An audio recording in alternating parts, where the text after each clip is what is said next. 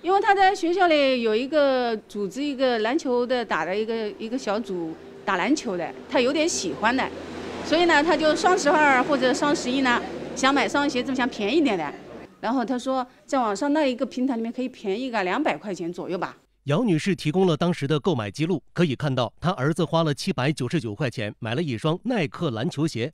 姚女士说，鞋子收到之后，她发现有问题。到货了以后就马上试穿的，试穿了以后，其实肉眼也看得出来有点不一样，体现。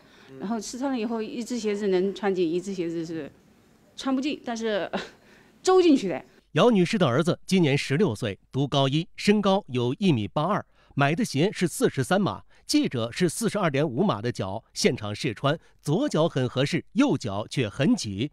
姚女士找来一根皮尺，量了两只鞋的长度，可以看到右脚鞋子的长度是三十一厘米不到，左脚是三十二厘米多，两只鞋相差了一厘米多。可鞋舌上显示两只鞋都是四十三码。当天就跟客服沟通了，然后他跟我这样说，他说他这个这个平台上面，他说已经描述了是是是这个鞋子大小不一的，他说他说不能退换，只能挂售和寄售。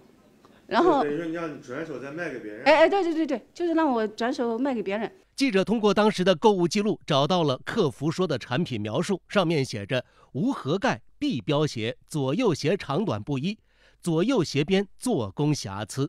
他还没有分辨那种能力呢，对吧？还没有那种，我觉得我的权益要维护这种。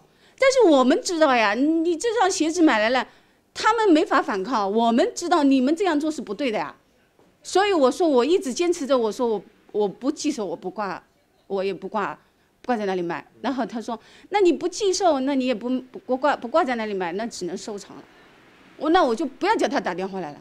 记者把情况反馈给了九十五分平台工作人员，了解情况之后反馈，用户之前联系过客服，也通过湖州当地的消保委投诉过。该商品由于本身确认有瑕疵，并在出售页面明确告知，所以用户反映的大小问题不符合退货条件。但考虑到购买者是未成年人，经过沟通可以做退货处理。